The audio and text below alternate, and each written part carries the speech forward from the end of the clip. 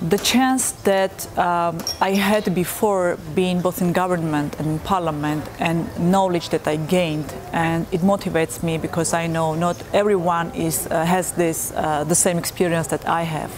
and I, I, feel responsible to share and to bring this with me and to develop uh, through my knowledge and experience and give it to others like they can stand up and continue after me.